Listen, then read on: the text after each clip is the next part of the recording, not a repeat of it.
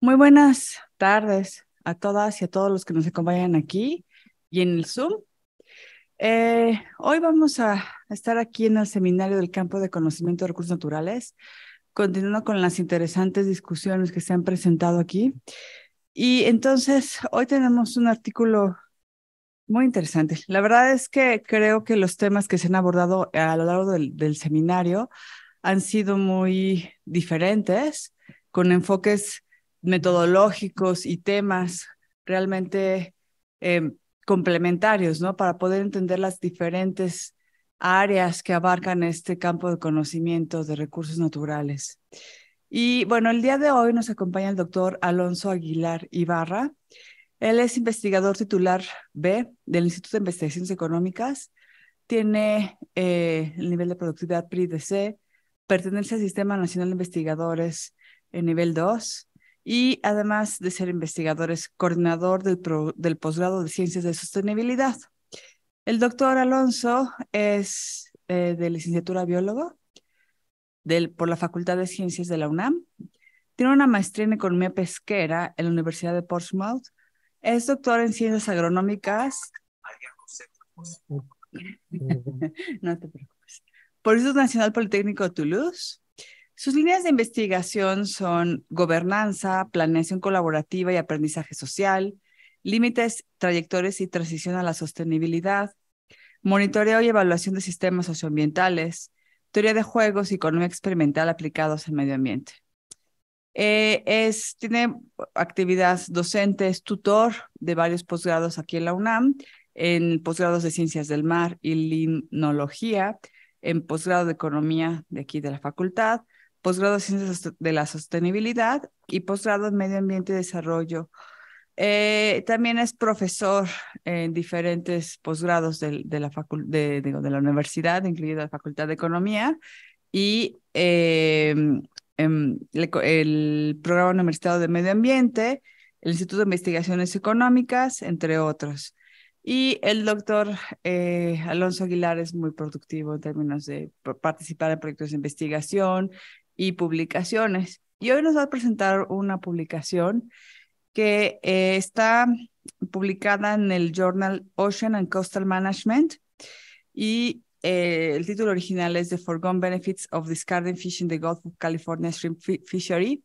Y bueno, aquí está en español, que se llama Costos de oportunidad de los descartes de peces en la pesquería de camarón del Golfo de California. Eh, tenemos para la presentación 30, 35 minutos, yo te voy avisando, Alonso. Ok, claro, sí. Y después pasaremos al comentario del estudiante Brian Canseco de la maestría. Y finalmente pasaremos a preguntas tanto de los que están aquí presentes como de los participantes en Zoom. Muchas gracias. Adelante, Alonso. muchas gracias, Karina, Saúl, la invitación, en la, aquí por la presencia, tanto en Zoom como en el auditorio. Y pues también, bueno, dentro de las cosas buenas que he hecho, que me han gustado mucho, es haber podido dar clase aquí en la especialización en economía ambiental y ecológica. Es algo bueno porque uh, uno aprende mucho, conoce muchas personas y es un, un, lugar académico importante para el posgrado de, economía. Entonces, bueno, también eso me gusta presumirlo por haber podido formar parte de ese cuerpo docente. y pues eh, lo que quiero platicar hoy es sobre efectivamente un artículo el que tiene, digamos, como un origen, y que voy a empezar con el preámbulo de la presentación, porque tiene origen con una mm, colaboración de hace tiempo con el... Mm, ok. Mm, con el INEGI que para la... Para poder... Es que aquí ya, ya listo. Con el interés de, de saber los los flujos de materiales que hay en la economía. Eh, de hecho, una de los, uno de los seminarios que hubo aquí, eh, que vino este Federico González de INEGI a, a platicar sobre cuentas ambientales, el INEGI que tiene una gran, un gran prestigio internacional para las cuentas, cuentas ambientales. Eh, en alguna colaboración que tuvimos hace ya bastantes años, el interés de, de ver cuáles son esos costos ambientales de actividades económicas y uno de ellos de, digamos, de lo que se pierde por los descartes de las pesquerías. Era como que un interés y de ahí viene el origen de este artículo. Entonces, bueno, es el valor económico de estos descartes. Y bueno, para pensar más o menos en camarón, pues podemos poner aquí en la imagen como que un platillo que podemos ir a un restaurante y nos traen la carta y decimos, ahí se mantienen unos camaroncitos. Entonces, bueno, pues, eh, por ejemplo, vemos estos que pues ya ahorita ya para la hora de lunch ya se nos, nos da hambre y nos antoja. Entonces, si elegimos estos camarones, ¿qué es lo que implica que, que no vemos en el plato de restaurante o en el restaurante? Lo que pasó en el mar, ¿no? Entonces, digamos, el haber comido, poder comer estos camarones implica que otros platillos, por ejemplo, de, de estos, como, no sé, este, algunos este, de estas mojarras marinas o de estos pargos o, o guachinangos que vemos aquí, todos esos platillos también deliciosos.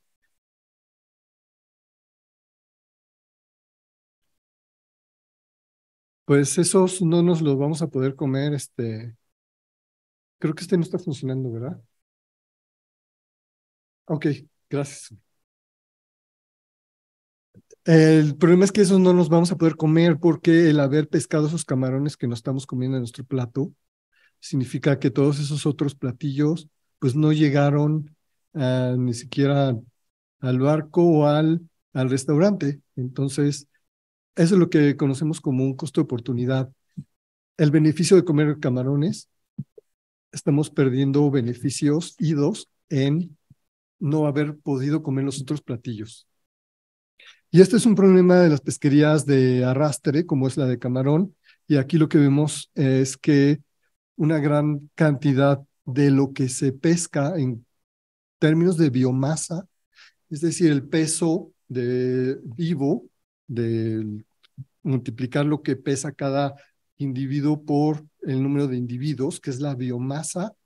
Eso es un descarte que puede llegar entre sesenta y tantos y noventa y tantos por ciento en peso. Eso quiere decir que de todo lo que se arrastró, aproximadamente entre el 10 y el 40% fue de camarón y el resto eh, de peces que se desecharon al, al mar, ¿no? Entonces,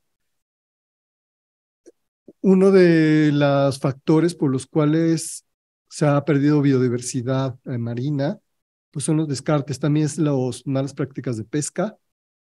y esta gráfica que implica de varias décadas con datos de la FAO, nos habla que la biodiversidad marina ha disminuido y va disminuyendo en, a lo largo del tiempo. Entonces es un problema importante en el cual precisamente los parte de los objetivos de desarrollo sostenible. Uno de ellos nos habla de la pesca o la vida marina, que dándole importancia al desarrollo eh, sustentable y uno de ellos es preservar este tipo de, de biodiversidad. También tenemos las metas de Aichi, que en el momento que se desarrolló esta investigación estaban vigentes, que fueron del 2010 al 2020, son las metas de Aichi para la biodiversidad, la idea de preservar la biodiversidad de, todo el planeta. Y dentro de las metas hay varios que señalan la importancia de generar conocimiento, de conocer el valor de la biodiversidad como tal y del, dentro de la cual también está la biodiversidad marina y que sea de beneficio para lo, los seres humanos, no, nada más para los ecosistemas, sino también para la sociedad. Entonces, el objetivo de, la investigación fue conocer a los descartes, pero desde el punto de vista económico, ya que hay muchos estudios, aunque están eh, esparcidos en la literatura, hay muchos estudios que más hacen el recuento de las especies desde el punto de vista biológico o ecológico, pero el conocer el valor de lo que se está perdiendo no se, no se tiene mucho. Y como comentaba al principio, pues es también uno de los intereses que se tenía con el INEGI al principio para incluirlo en las cuentas ambientales. Entonces, bueno, en tratar de proponer una metodología y para lograr esta valoración fue el objetivo principal.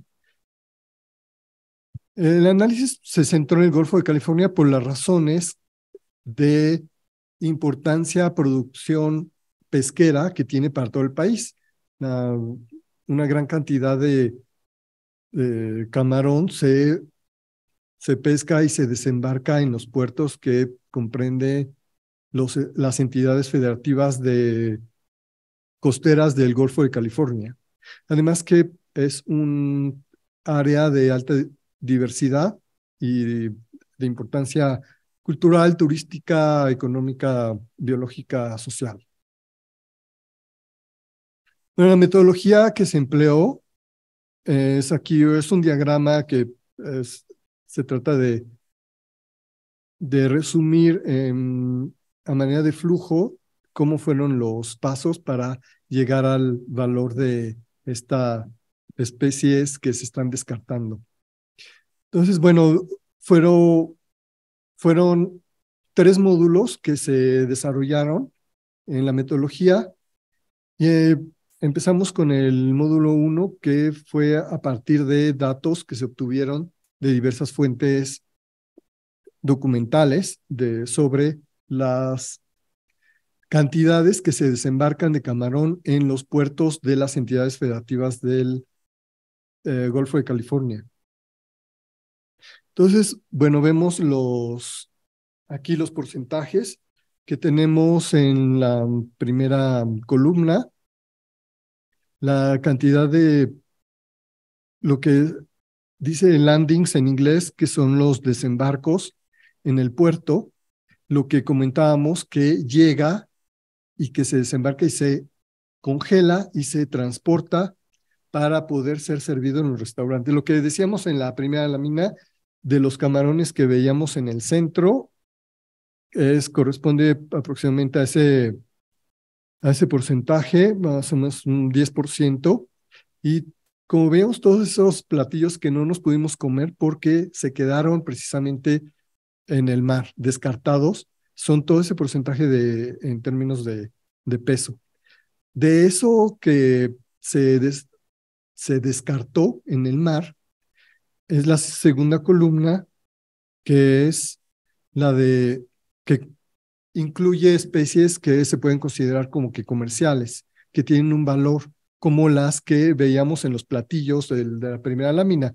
Son las comerciales porque pues tienen un mercado en el cual podemos eh, disfrutar de su, de, y nutrirnos.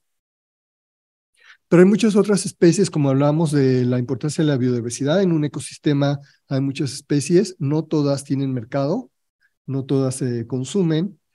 Sin embargo, forman parte de cadenas tróficas o de, de servicios ecosistémicos de la naturaleza misma eh, acuática, digamos. Entonces, se hizo la, la distinción para las especies que son comerciales y las no comerciales, especialmente las de peces. Hay otras especies en, que no son peces, moluscos, em, em, como calamares o pulpos o algunos otros tipos de, de organismos. Eh, aquí solamente consideramos los peces porque podemos ver que es la mayor proporción de todos esos descartes que se dan. Y de estos peces están las especies, otra vez, las comerciales y las no comerciales. De aquí vamos al segundo módulo de, de la metodología, que de aquí, de estas gráficas, nos quedamos solamente con la columna que está de este lado y de ahí vamos a, a distinguir, como decíamos, las especies no comerciales de las comerciales. Aquí estamos asumiendo que para poder tratar de encontrar un valor proxy o un valor digamos que se considera equivalente, eh, se asumió que podemos utilizar todas las especies no comerciales para fabricar harina de pescado.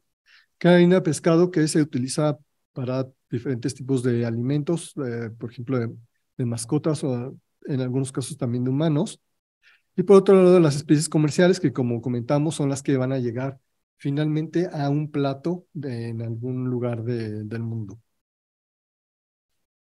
Ok, seguimos en este segundo módulo y la, la metodología fue utilizar los datos que tenemos de las, de las cantidades de especies y utilizando unos factores que estiman la, la productividad o la eficiencia técnica de una planta de harina de pescado. Entonces se buscó también información de estos factores y después utilizando los precios de harinas de pescado, se actualizados, ajustados a la inflación, se encontró el valor de estas, del equivalente hipotético de cuánto se produciría en harina de pescado si en lugar de haber descartado todas esas especies, las hubiéramos procesado y a qué precio.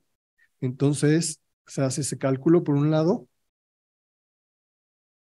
Y por el otro, vamos a calcular las otras especies que se descartaron, en, que están otra vez aquí, son esa parte gris pequeña que es un porcentaje pequeño relativamente con el de las no comerciales, porque entonces vamos a calcular si esas especies no se hubieran tirado al mar, y se hubieran pescado y comercializado para poderlas consumir, ¿cuál sería el valor comercial de ellas? ¿no? Entonces, ¿qué es esta de asumir que se pescan?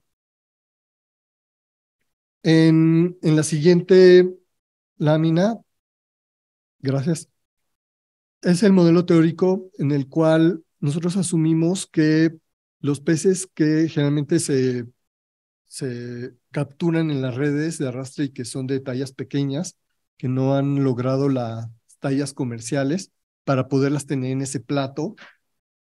Esas estamos asumiendo que, que crecen conforme este modelo, se le llama el modelo de crecimiento de Bombertalanfi, y que con unos parámetros que se utilizan podemos encontrar el peso al cual los, los peces van a llegar o llegarían teóricamente si no se hubieran muerto ahí, digamos, en el mar. Y después, al llegar a una talla óptima de captura, se hubieran eh, pescado y comercializado. También tenemos que asumir que aparte que están creciendo las poblaciones, los, cada individuo eh, está creciendo en el mar, al mismo tiempo hay una mortalidad natural que hay, porque no tiene que ver con la pesca, sino que pues que los seres vivos que van disminuyendo el tamaño poblacional y es a lo que este modelo se refiere.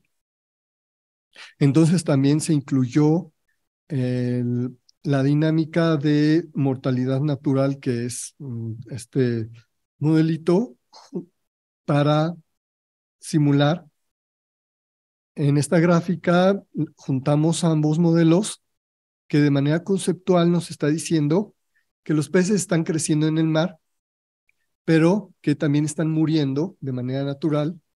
Entonces llega un momento en el que eh, no todos van a crecer a esa talla grande y van a ir muriendo, va a haber cada vez menos peces grandes de manera natural. Entonces, eh, aquí estamos poniendo una, una estimación de la, como comento, de la biomasa final, que significa que, así como decíamos, biomasa es cantidad de individuos por su peso, no todos están sobreviviendo y están creciendo también al mismo tiempo. Esta información se obtuvo de una base de datos que es gigante, que se llama Fishbase, que viene mucha información biológica y pesquera y que está disponible en Internet para que se obtengan las, los datos de, que alimentan los modelos que les mostré y que vienen por especie, por región y que podemos obtener la información. Em, y bueno, estas son las ecuaciones con las cuales se detalla los cálculos, como les comentaba, que hay que considerar que están creciendo en el... Eh, sí, bueno, ahí nada más para ver qué es lo que significa cada uno de los de las variables y los parámetros. Que lo que estamos asumiendo es que esa cantidad de peces que está creciendo y que está muriendo en el futuro van a tener un cierto valor con eh, datos de precios. Entonces, lo que hacemos es en la ecuación de abajo, hacer el descuento del valor porque estamos proyectando a futuro lo que van a crecer. Y como es un valor a futuro, lo estamos actualizando a presente. Entonces, eh, se considera también esa parte, no nada más la parte biológica, sino la parte del valor eh, valor presente. Y bueno, los resultados son estos, estos en cantidad de, volúmenes de capturas en toneladas, lo que se calculó en la primera parte de, la metodología, y eso, ese volumen le corresponde un, valor.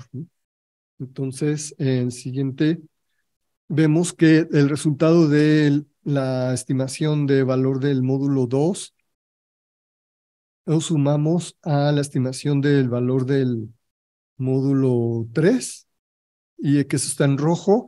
Y finalmente en la cajita que está abajo, hacemos la suma de estos dos valores.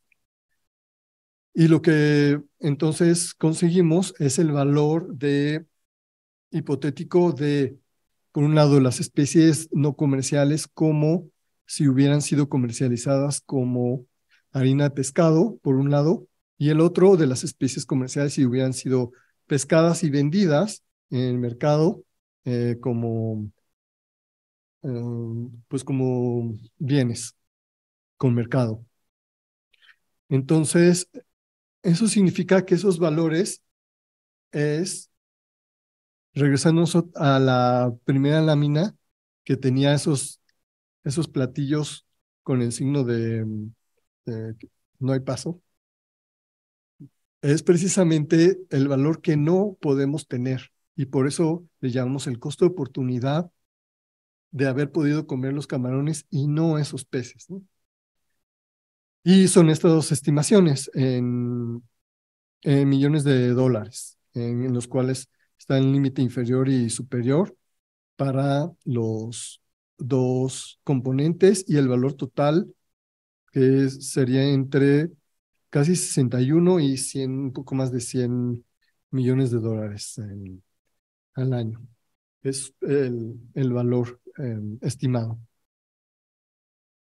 Entonces, bueno, ya para ir terminando em, esta parte, es que pues la metodología tiene la, la intención de aportar estimaciones monetarias que pueden ayudar a otros análisis, como por ejemplo análisis de flujo de materiales, que aunque análisis de flujo de materiales, como su nombre lo dice, solamente se refiere a cantidades, el poder estimar también valores, como digamos parte de los proyectos que tiene el INEGI para hacer estimaciones de cuentas nacionales, que digamos flujo de materiales es lo que cuando pensamos en cuentas nacionales estamos pensando en esta esta matriz donde se calcula el Producto Interno Bruto y las cuentas satélite o ambiental son las que eh, asignan los costos.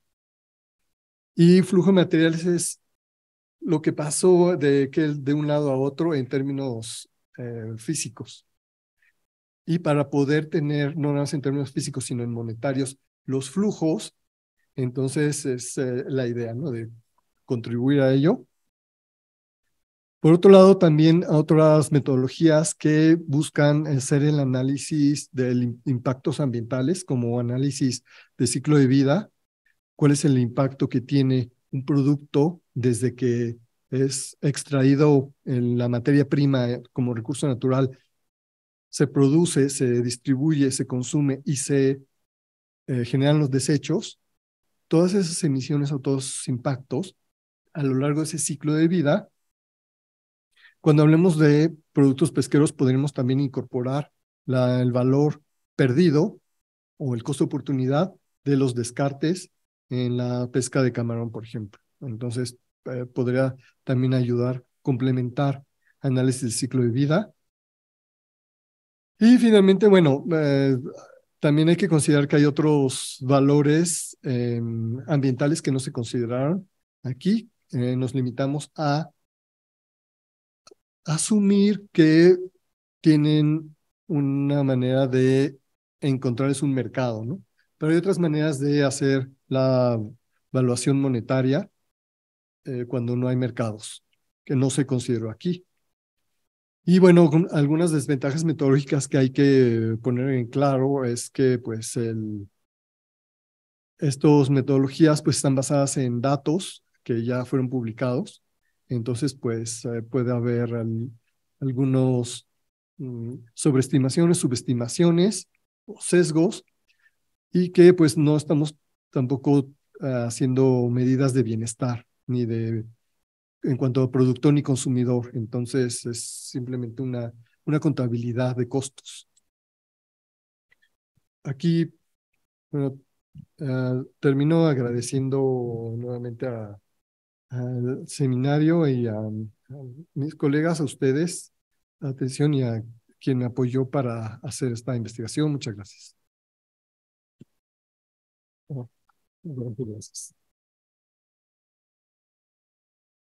Muchas gracias, Alonso, por tan didáctica presentación. Creo que las imágenes ayudaron muchísimo para que nos clarificara, sobre todo los esquemas, luego pasas a uno, regresas a otro. Entonces, yo, yo la verdad es que a detalle, hacia profundidad, no revisé el artículo, pero sí lo vi y me pareció que eh, ahora con tu presentación quedó todo muy claro, porque vas explicando módulo por módulo y con las imágenes creo que nos ayudó muchísimo a clarificar el, el punto de, de, de, esta problemática tan importante, ¿no? La verdad es que uno cuando come sus camarones nunca piensa que eh, tiene un 90% de descarte de otros productos, entonces, híjole, ya empezamos a pensar si comer camarones es sustentable o no.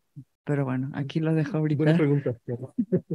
Entonces, ahora vamos a dar la palabra a Brian Canseco Hernández, que él sí revisó el documento profundidad y va a hacer unos comentarios. Muchas gracias, doctor, por la presentación. Y sí, justamente como comentabas, es, una metodología muy interesante, muy novedosa. Comentaba que el artículo que se puede aplicar a otras áreas, ¿no? O sea, a diferencia de otras metodologías o estudios que son en un área, esta tiene una facilidad de aplicarse en otras áreas. Aunque, bueno, con ciertas limitantes, ¿no? Y, y pues es fundamental entender este, esta metodología y ese estudio porque va a ayudar a concientizar a la sociedad de aquellos este, costos económicos de la pesca insostenible, de aquellos este, necesidad de adoptar prácticas más responsables a la hora de, bueno, en el sector pesquero. Eh, igual, o sea, estaba muy estructurado el artículo, eh, estaba muy, eh, los resultados estaban muy claros, fueron muy, este, muy precisos también. Y sí, ¿no? Es importante notar esas limitantes metodológicas, ¿no? a la hora de tener precaución también en aplicarlos en otros contextos, porque, bueno, el tema de la pesca, al igual que la agricultura, la ganadería, varía en las regiones, ¿no? No es la misma las técnicas de pesca en Campeche, en Veracruz, en Oaxaca, eh, es muy variado. Por lo tanto, este, las técnicas, las metodologías que se ocupan son muy diferentes y si se quiere aplicar una metodología así, hay que tener muy claro el contexto y las particularidades de la, de la población.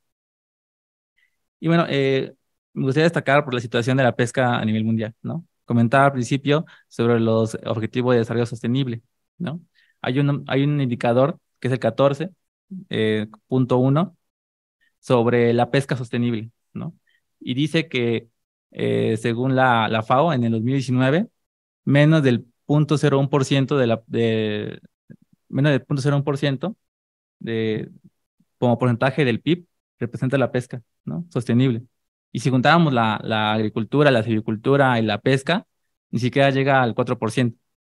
Entonces, esto nos hace, pues, entender que, pues, muchas de las pesquerías están más que explotadas, ¿no? Sobreexplotadas. También es importante, bueno, eh, siento yo que eh, mencionar que la pesca, pues, es un sector que es muy intensiva en energía. Consume más de lo que produce en energía. Incluso hay estimaciones que dicen que del 15 al 20, incluso hasta el 30% de veces, pero del 15 al 20% de veces más energía consume de la que produce. Entonces, y, sin mencionar, ¿no? De los, este, las emisiones de efecto invernadero, ¿no? Que es lo que le comentaba al principio, ¿no? Hay muy pocas estimaciones de las emisiones a nivel en el sector pesquero, ¿no? Eh, por los datos, por, por temas de, de, también un poco, ¿no? De, de, se le presta atención muchas veces a las grandes pesquerías, ¿no? A los grandes, este, pues, a los que tienen más, eh, pues, mercado, ¿no? Y, y ya bueno, para, para terminar mi comentario y pasar a unas preguntas que me gustaría hacerles, hacerle es pues acerca de, de esto de la economía azul, ¿no? De, del decenio, un poquito mencionado también del decenio de las este, acciones para cumplir los objetivos, ¿no? Que es un decenio que empezó en el 2021 y va a acabar en el 2030, que simplemente es como se pide a la sociedad, a las instituciones, a los gobiernos intensificar sus medidas, ¿no? Para poder lograr los objetivos de desarrollo sostenible en la pesca. Entonces, em, tengo algunas preguntas, ¿no? Este, la primera tiene que ver con, pues, pues, con las técnicas, ¿no? Con las herramientas específicas que se pueden utilizar para mejorar la validación, las fuentes documentales de los datos, porque muchas veces, eh, ¿qué pasa, no? Este, llega la embarcación, hay un supervisor, ¿no? Este, te, le dice, mira, eh, te doy mis datos, aquí está, ¿no? Es cómo se puede mejorar esas técnicas de recolección de datos, eh, la validación, ¿no? O sea, es porque es importante al final, ¿no? Este, cómo se hace esa eh, validación, esa eh, supervisión, ¿no? De los datos reales, ¿no? De arrastre.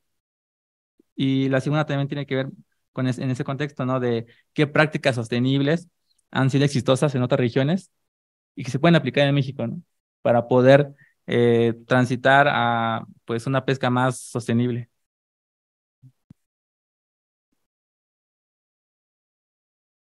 Sí, muchas gracias por comentar las preguntas. Y, y bueno, creo que la cuestión de los datos es algo fundamental en, en, ciencia, en todas, las, en todas las disciplinas. Y efectivamente aquí hay una dificultad extra porque estamos hablando de, de extraer eh, organismos y, del medio y después reportarlos en un lugar que que a veces es oficial, a veces no.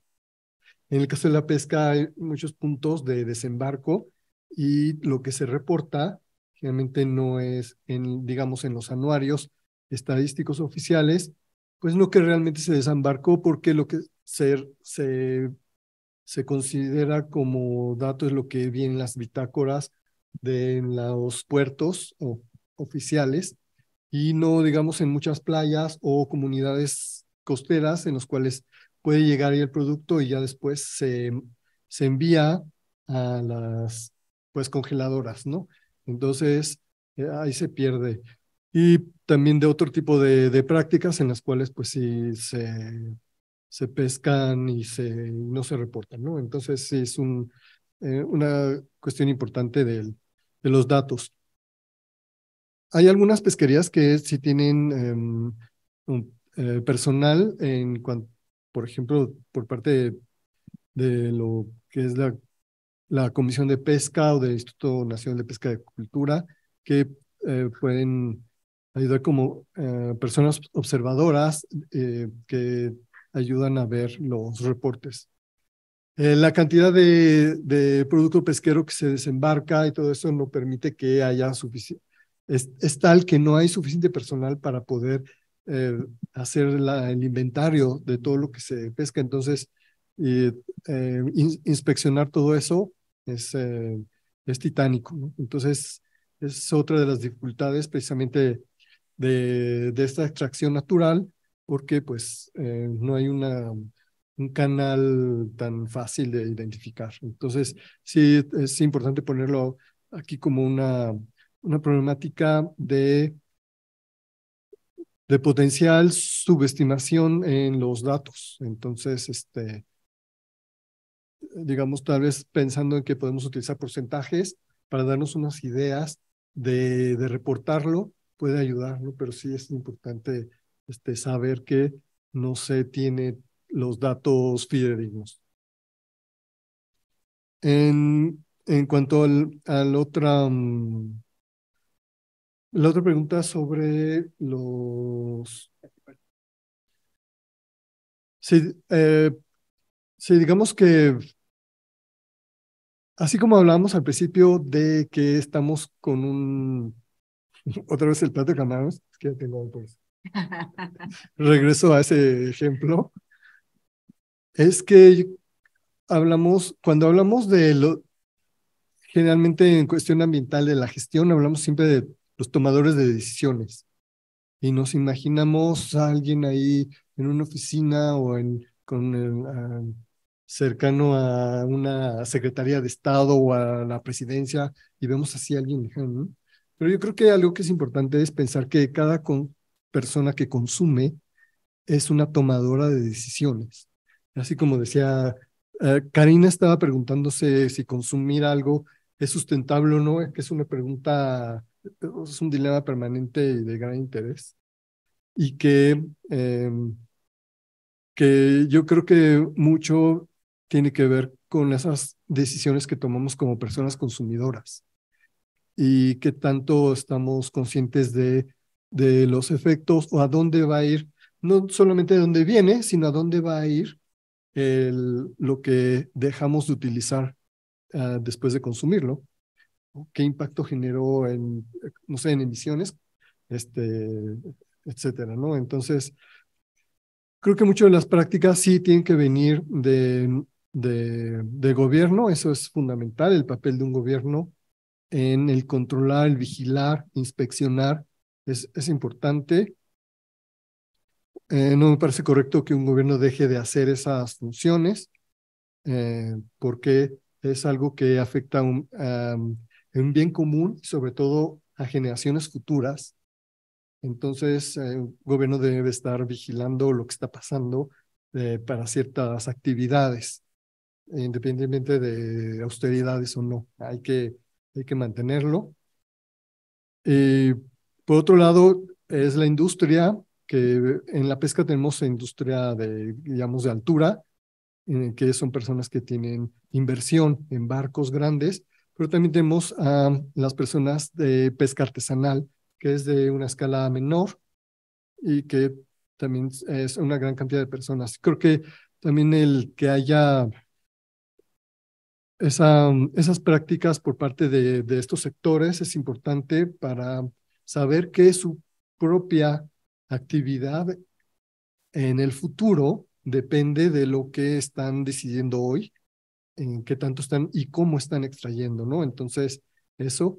Y la otra parte, para cerrar el triángulo, es, ya lo comentamos, de quienes consumimos. Entonces tenemos como que este triángulo que llamamos de gobernanza ambiental, entre gobierno, eh, industria y eh, consumo y tener acciones para cada uno de ellos en general. Eh, muchas gracias, Alonso. Em, no sé si hay preguntas del público aquí presente.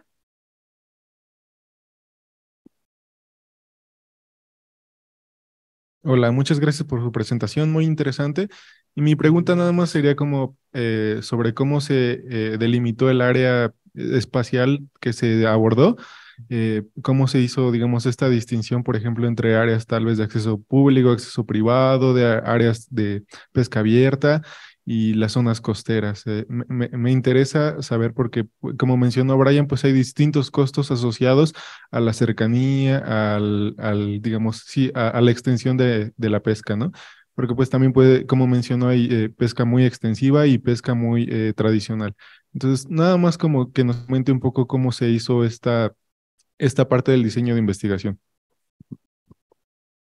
Sí, gracias. El... Bueno, por un lado, el área de estudio se vio en los, los datos, vimos los datos dónde se está pescando más. Entonces, ahí, eh, dónde se están desembarcando más y, y pues sí, hay, es muy claro que es esta parte del noroeste de México donde la pesca es más importante. No nada más el Golfo de California, sino de la parte del lado del Pacífico, de la baja, toda la baja, las 12 entidades, se, se desembarca mucho de parte oceánica y de otras especies, como sardina o, atún.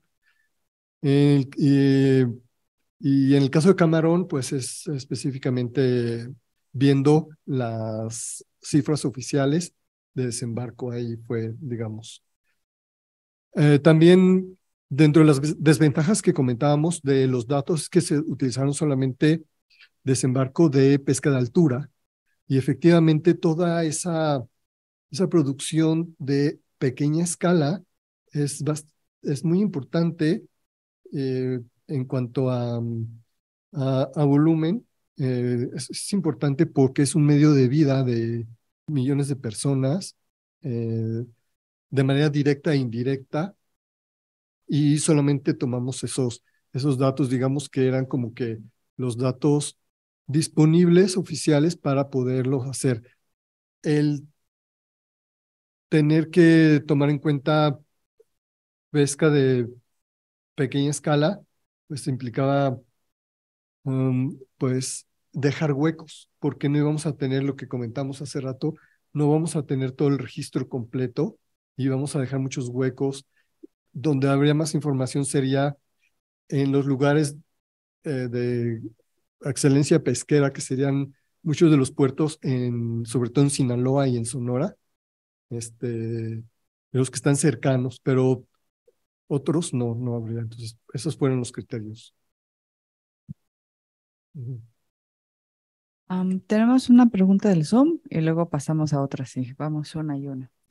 Entonces, en el Zoom, Sofía la pregunta, ¿este valor de oportunidad se puede incluir a otra función de producción que use el harina de pescado como una forma de valorar la biodiversidad? Ok, sí, gracias ah, por la pregunta.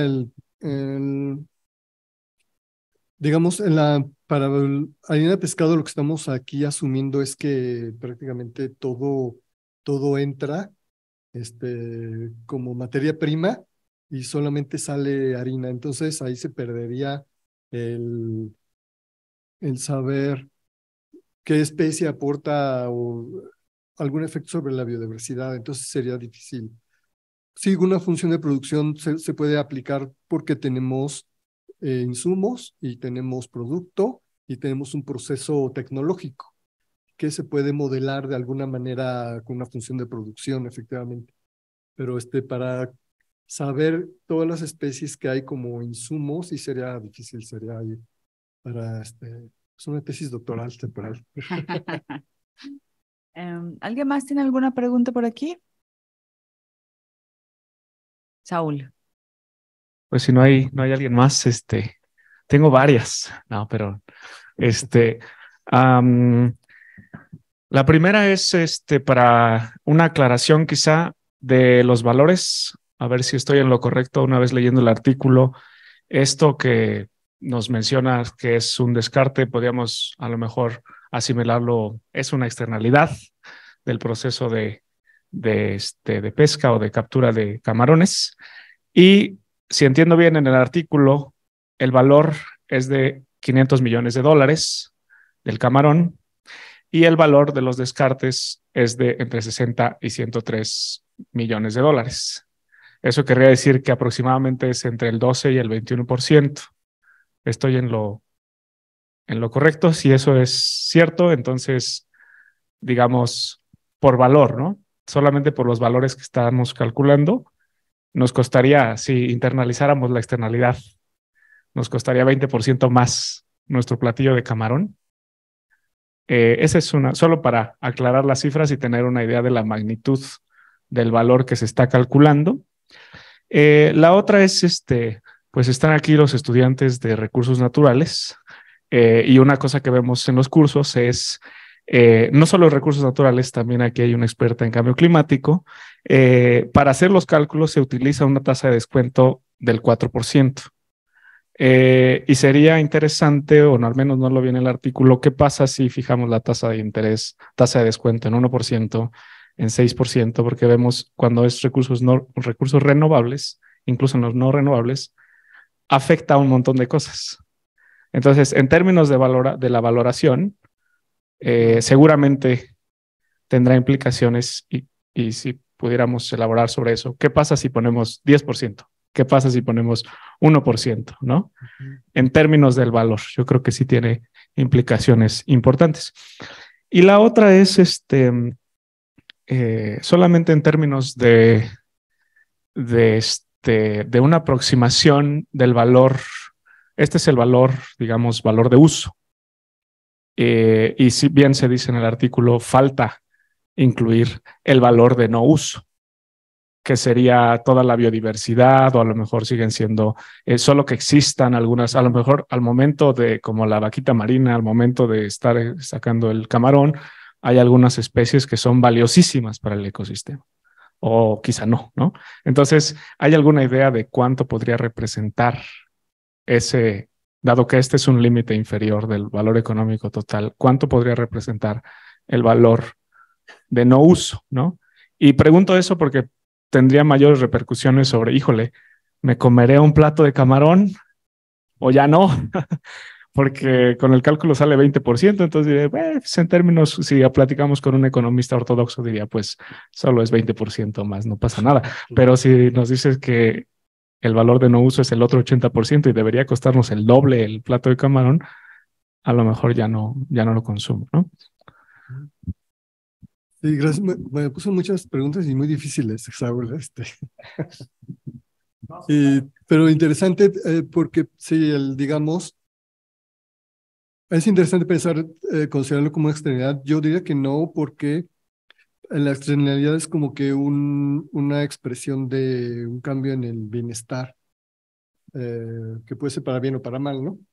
Eh, y este, puede ser como un proxy, digamos, como un, una, un, una manera que podría ayudar a, a plantear un análisis como de evaluación contingente y partir como de cuando tu, tu tu monto inicial y se puede ir por ahí tal vez, este, pero como, como externalidad así estrictamente, eh, yo pensaría que no, porque no es una medida, no estamos midiendo un bienestar eh, para alguien, ni para productores ni para consumidores. Entonces, ¿a quién afectó? Sí afecta a la sociedad de alguna manera, pero en, en qué medida, en qué cantidad, así sería difícil decirlo, ¿no? Este, este, eh, por otro lado, sí, lo de la tasa de interés, de interés, perdón, de, descuento, no sé, no hicimos escenarios, no hice escenarios,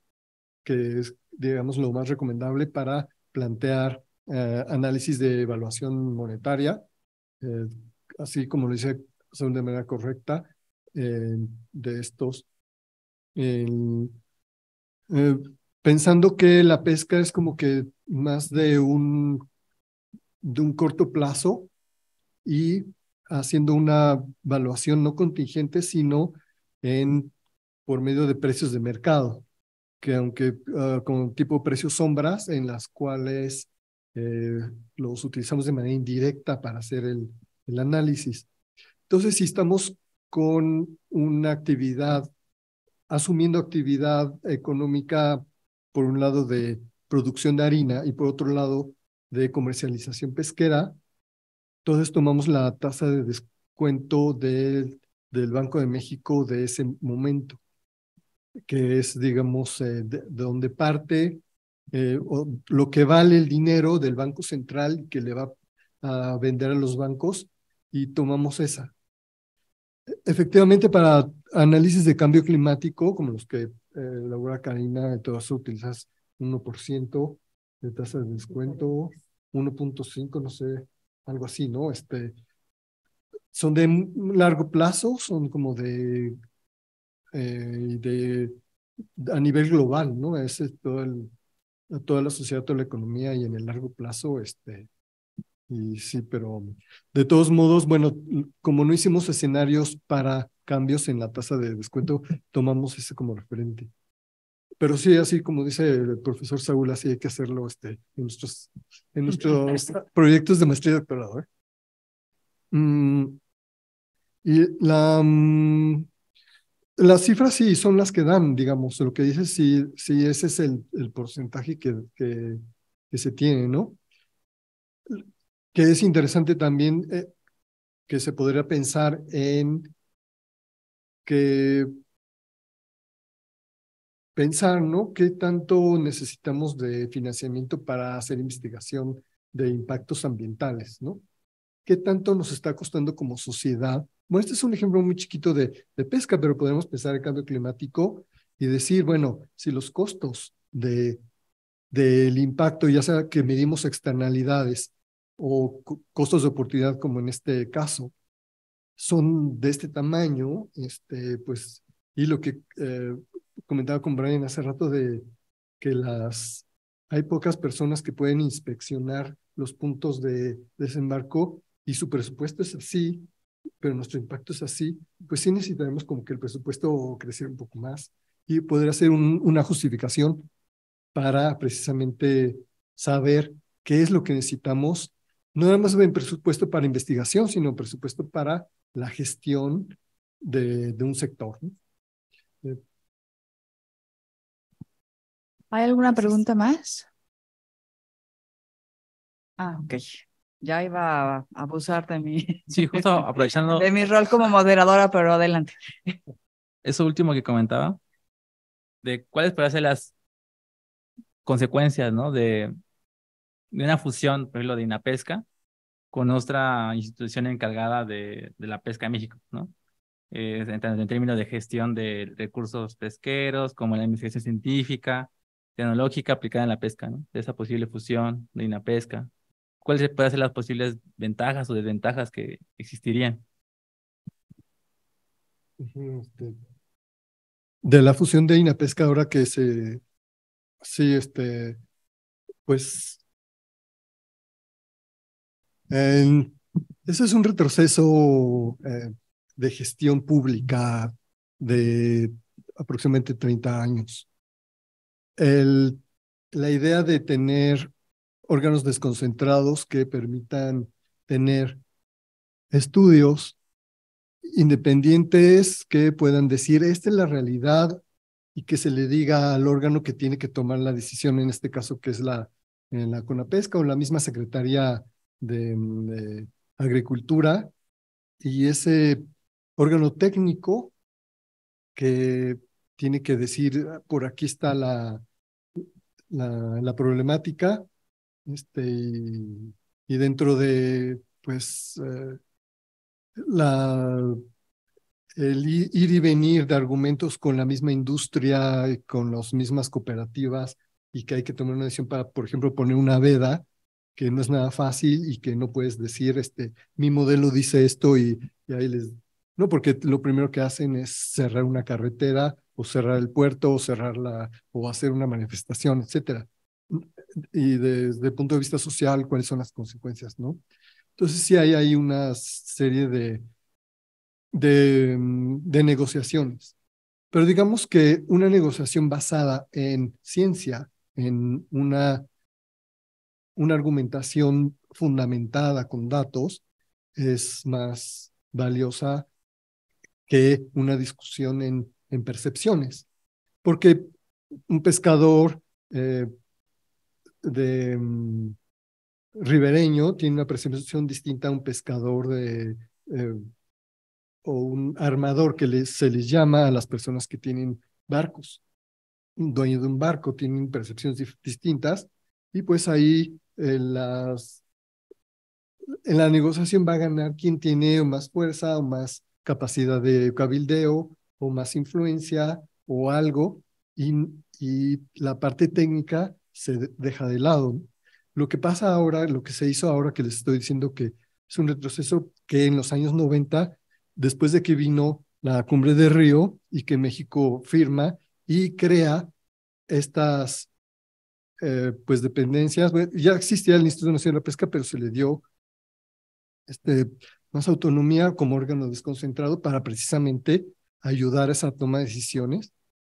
Este, ahora, pues, se le quita presupuesto, se le quita armas eh, en cuanto a herramientas, me refiero, y ya queda como que en una estructura burocrática vertical y ahí queda diluido y se pierde esa, digamos, esa gestión más horizontal, más integrada con la sociedad, con la realidad de la naturaleza y ahora pues se verticaliza. Este, es lo que puedo opinar. Ok. Bueno, eh, ¿alguna otra pregunta de estos jóvenes que están aquí? Bueno, em, yo tengo un par de preguntas. Em, primero, en el, digamos, supongo que es porque no importa el tamaño, pero en el módulo B no hubo como esta modelación dinámica de la, del tamaño del banco de peces, ¿no? Que pueden capturar, que si crece, que si disminuye, que si son pequeños o son grandes, son comercializables o no. Supongo que porque a eso, sean pequeños o grandes, todos se van a hacer harina, ¿no? Entonces, por eso no existe un módulo de, de crecimiento, de un modelo de crecimiento de, del banco de peces. Bueno, ahorita me Era nada más para corroborar. Sí, no, exactamente, es, es eso, todo, todo entró porque es en ese momento. Ok. Todo entra, ajá. Eh, la otra cosa es un poco en términos también de, de, de ese módulo de, de los, los peces que se pueden convertir en harina, es si para la estimación de costos o de ganancias en, en, términos de vender harina de pescado, se contabilizaron pues, todos los costos de producción de hacer harina, ¿no? De lo que implicaría eh, la energía o cuánto mm. cuesta hacer un kilo de harina, no lo sé cuánto, cómo funciona, ¿no? Todos esos costos este, de operación, salariales, para poder hacer eh, la harina de pescado.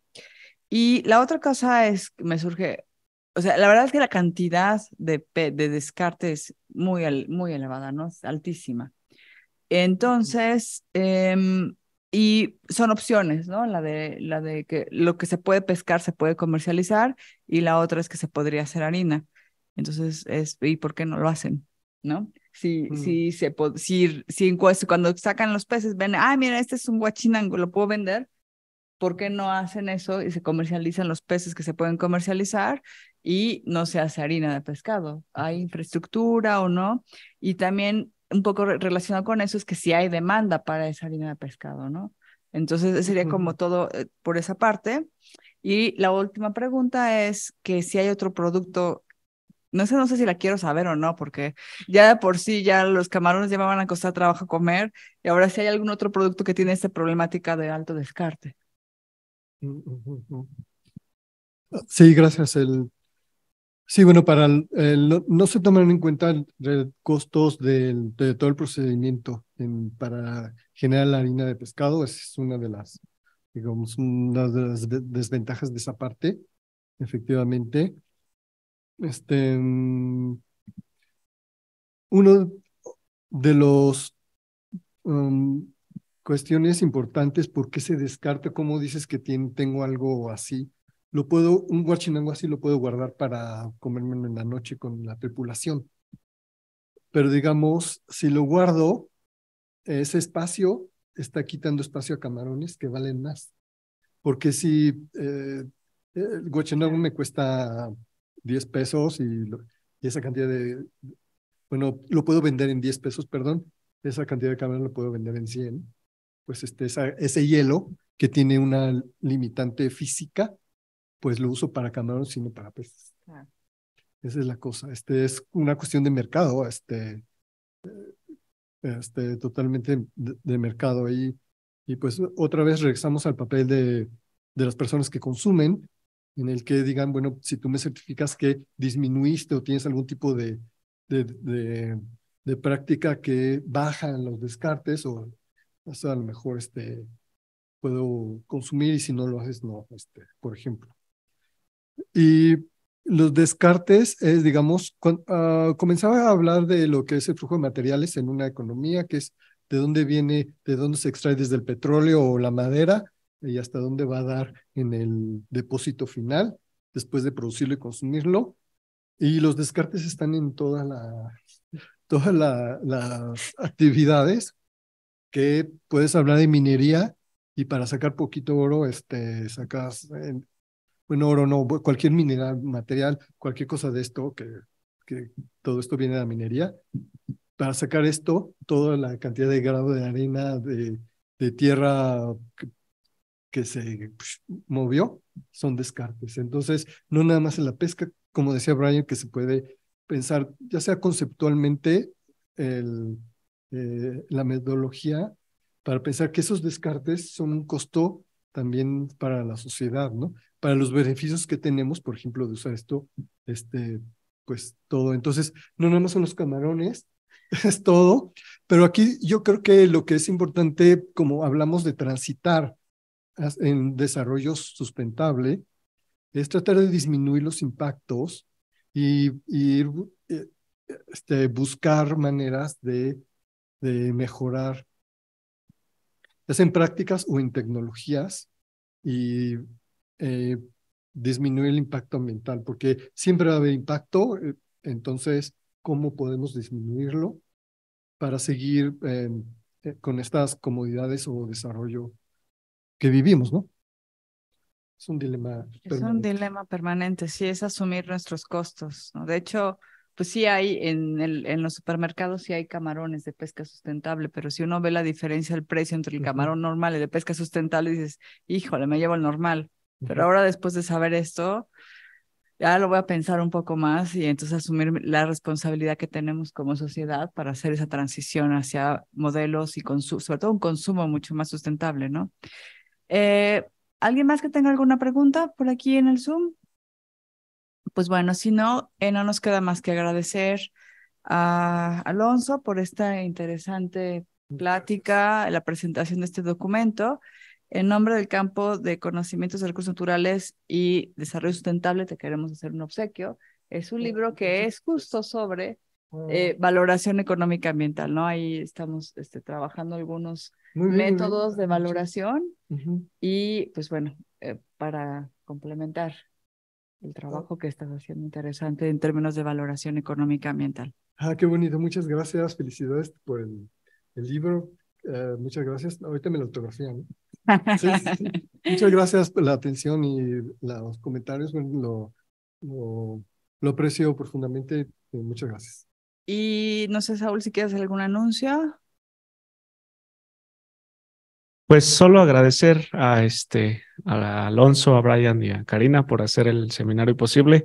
Eh, este, las, a partir de la pandemia, las, las constancias de participación las entregamos de manera virtual. Entonces, en los siguientes días les haremos llegar su, su constancia. Eh, y nada más hablar sobre los siguientes eventos. Estamos ya a punto de cerrar el semestre. Nos quedan eh, dos pláticas que espero que sean de interés para ustedes. La siguiente plática es el martes 16 de mayo. Es sobre el precio sombra de los salarios en, la, en los productores lecheros en Irlanda. Eh, en las economías es difícil a veces estimar el valor del trabajo familiar y en la agricultura y en la ganadería es, es, es muy importante. Entonces, eh, un ex estudiante eh, del posgrado está haciendo su doctorado en Irlanda y nos va a contar sobre sus resultados. El 25 de mayo tenemos la última presentación del semestre que es sobre eh, distribución de ingreso y emisiones en México por la maestra Karina Caballero. Será el 25 de mayo si no mal recuerdo, creo que es por la tarde. De todas maneras, si alguien está interesado, puede escribirme un correo o a través de Brian o a través de eh, en la página de posgrado lo anunciamos en el Facebook de la especialización. En varios lados se anuncia el evento, ¿no? Es el siguiente es eh, virtual, dado que este, Luis Fernando está en, en Irlanda. Y el último es como ahora, es híbrido. Estaremos aquí en el auditorio o aquí en el posgrado al menos y de manera también virtual. Pues muchas gracias, eso es lo único que quería comentarles. Muchas gracias, buenas tardes a todas y a todos.